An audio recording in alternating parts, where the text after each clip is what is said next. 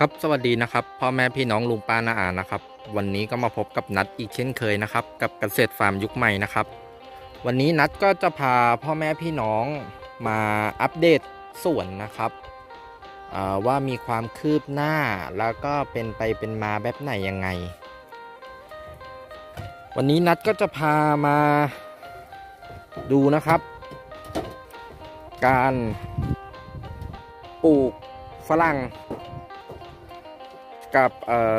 การลงนะครับพุทรานมสดนะครับ วันนี้นัดก็พามาอัปเดตสวนนะครับอันนี้ก็จะเป็นฝรั่งกิมจูนะครับ หลักๆนัดจะลงเป็นพวกฝรั่งกิมจูนะครับ ก็คือจะได้ผลผลิตที่ดี แล้วก็ค่อนข้างจะดกนะครับ ส่วนรองลงมาก็จะเป็นพวกหงเป่าซื้อนะครับ หงเป่าซื้ออันนี้ก็จะค่อนข้างดกเหมือนกันนะครับ นี่ครับ อันนี้ก็จะเป็นพวกหงเป่าซื้อนะครับ นี่ครับดกครับ เป็นพันนักนะครับ แต่ก็มีรสชาติที่อร่อยนะครับ เนี่ยครับลูกประมาณนี้นะครับ เพื่อนๆก็สามารถห่อได้แล้วนะครับ นี่นะครับ วันนี้ก็จะพามาชมนะครับ อัปเดตแปลง แปลงใหม่นะครับ ต้องเรียกว่าแปลงใหม่นะครับ ก็คือที่นัดได้ทำการถมดินเพิ่มเติมในการจะปลูกผักกูด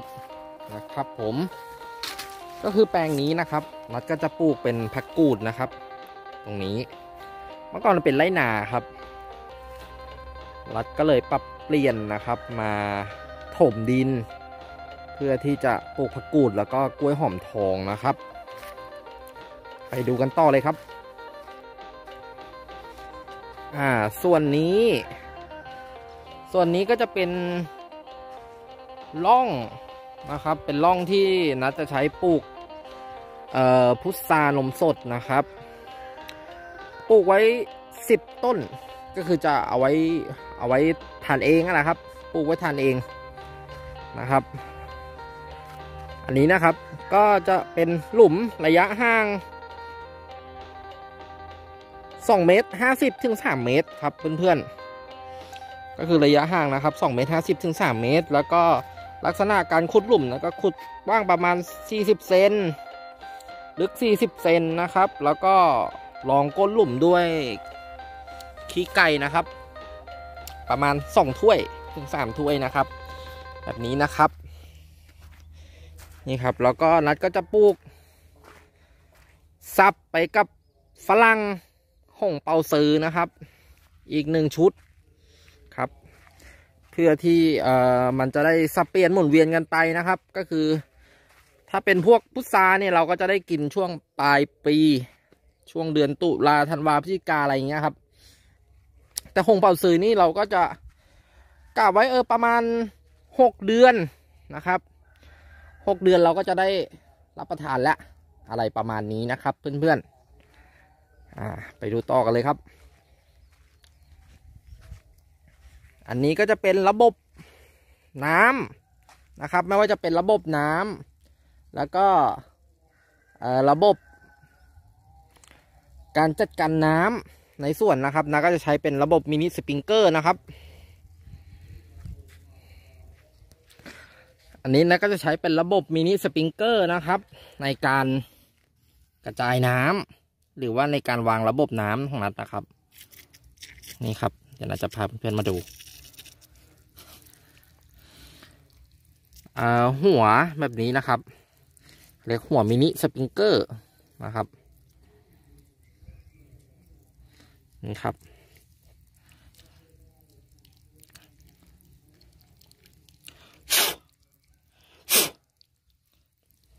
บางครั้งนะครับ เราก็ต้องหลังจากเราเเปิดน้ำเราก็ต้องมาตามตามตรวจเช็คนะครับ เพราะว่าบางทีหัวของเขาชอบชอบตันนะครับ เราก็ต้องคอยมาเช็คนะครับ ดูนะครับ ว่ามีหัวไหนตันแบบไหนยังไงนะครับ เนี่ยครับ ต้องคอยมาไล่ดูนะครับ เพราะว่าบางทีหัวก็มีตันบ้างนะครับ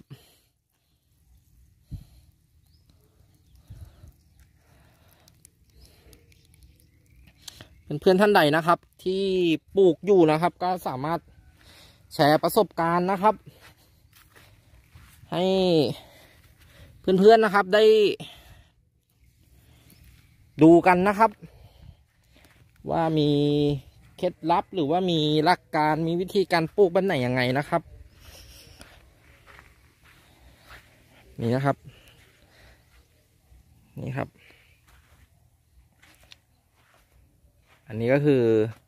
นัดลงถมดินไหมนะครับ เพราะว่าที่เดิมเนี่ยมันเป็นร่อง มันเป็นร่องระบายน้ำครับ นัดก็เลยถมร่องระบายน้ำเพราะว่า มันเสียพื้นที่อะครับ เดี๋ยวนัดค่อยมาจัดการเรื่องร่องระบายน้ำใหม่นะครับ เพราะว่าเดิมมันเป็นที่นาเก่าครับ เพื่อนๆ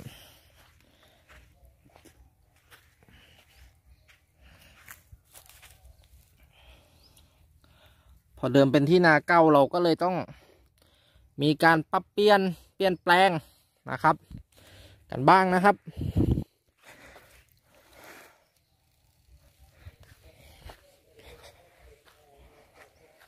ะ ว่าถ้าเรา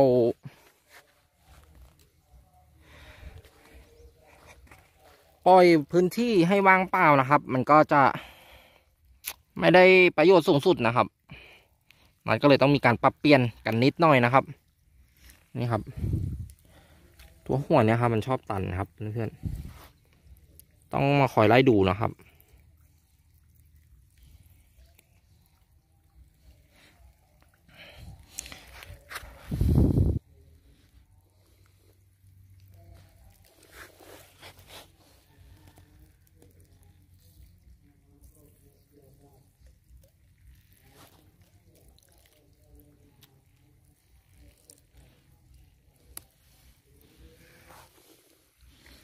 พี่น้องท่านใดเคยใช้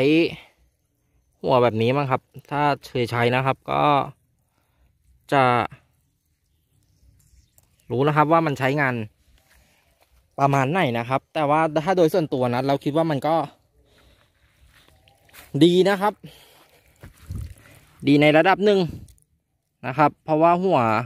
มินิสปริงเกอร์ตัวนี้ ก็คือสามารถให้น้ำได้ดีนะครับ ขนาดของเอ่อท่อตัวนี้นะครับ เป็นท่อ PE 20 มิลนะครับ เป็นท่อ PE 20 มิลแล้วก็ท่อเมน ท่อเมนเป็นท่อขนาดนิ้วสองนะครับเพื่อนๆ ก็คือเป็นท่อขนาดนิ้วสอง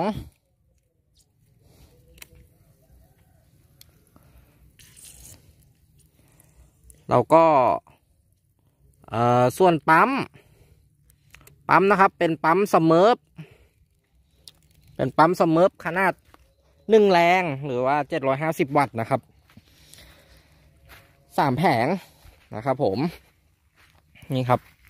น้ำก็จะออกประมาณนี้แหละครับ เพื่อนๆนี่ครับเรื่องระบบน้ำของนัดนะครับ ก็ถือว่าดีในระดับหนึ่งนะครับ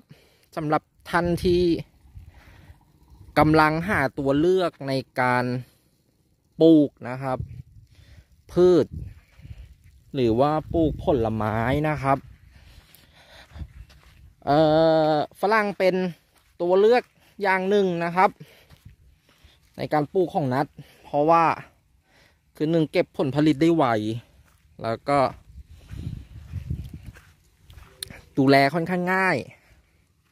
นะครับ ก็คือเราไม่แทบจะไม่ ได้ทำอะไรเลยอะครับ ก็คือแค่ดูแลเรื่อง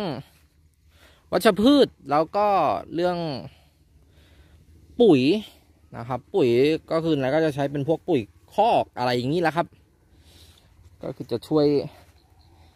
ช่วยในการดูแลรักษานะครับ ปุ๋ยเคมีก็คือสิบห้าวันใส่หนึ่งครั้ง ปุ๋ยคอกนี่ก็คือเราจะใช้ปุ๋ยคอกในการยืนพื้นนะครับ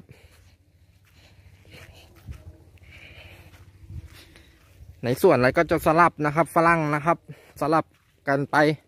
กับพวกกล้วยบ้างมะพร้าวบ้างนะครับ นี่ครับโซนฝั่งนี้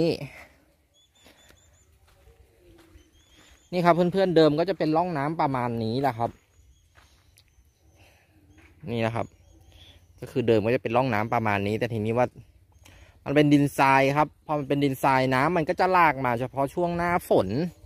พอหลังจากหน้าฝนเราก็จะได้ เห็นร่องว่างๆอย่างเงี้ย เสียประโยชน์ครับ นัดก็เลยคิดว่านัดจะถมใหม่นะครับ ถมใหม่แล้วก็จะทำเอ่อร่องเป็นร่องเล็กๆนะครับ เฉพาะร่องของเขานะครับ เอาไว้ให้ น้ำระบายช่วงหน้าฝนเท่านั้นนะครับ ราะอย่างนี้นัดดูแล้วมันน่าจะสิ้นเปลืองนะครับ สิ้นเปลืองพื้นที่นะครับแทนที่เราจะปลูกได้อีกหลายอย่างนะครับ เราก็ต้องเสียไปกับการทำปกร่องต่างๆนะครับ แล้วก็เดี๋ยว เราจะพามาอัปเดตนะครับ กันต่อไป ว่าจะมีการเปลี่ยนแปลงนะครับ หรือว่ามีทิปอะไรดีๆ มาฝากนะครับ เรื่องระบบน้ำวันนี้นะก็เอาเรื่องระบบน้ำมาฝาก เพื่อนๆพ่อแม่พี่น้อง แล้วก็เรื่องสายพันธุ์ฝรั่งที่เราจะนำมาปลูกนะครับ แล้วตอนนี้นะครับ ก็สายพันธุ์ที่ดีนะครับ อันดับหนึ่งก็จะเป็นพวกฝรั่งกิมจูลองลงมาก็ในในเรื่องของการลูกดกนะครับ ก็คือต้องยกให้พี่กิมจูเข้าไปนะครับ แต่ในเรื่องความอร่อยความหวานนะตอนนี้ก็คือนะจะ ชอบความความเห็นส่วนตัวนะคิดว่าหงเปาซื้อนะครับ เป็นเป็นทางเลือกอย่างหนึ่งนะครับ แล้วก็ตลาดต้องการสูงนะครับ ครับผมวันนี้ก็ขอจบคลิปไว้เพียงเท่านี้นะครับ ก็พบกันใหม่ในครั้งต่อไปนะครับ ว่านัดจะพาพ่อแม่พี่น้องไปเยี่ยมชมสวนเพื่อนๆที่ไหน หรือว่าเอาไอเดียนะครับ การทำเกษตรแบบผสมผสาน หรือในรูปแบบฟาร์ม ยุคใหม่แบบไหนนะครับ ก็โปรดติดตามตอนต่อไปนะครับ วันนี้นะครับก่อนจะปะจากวันนี้ก่อนจะจากไปนัดก็ขอฝากกดไลค์กดซับสไคร b e กดติดตามให้นัดด้วยนะครับ ไว้พบกันครั้งหน้านะครับ หรือว่าโอกาสใหม่นะครับ วันนี้นัดก็ต้องขอกล่าวคำว่าสวัสดีครับ สวัสดีครับ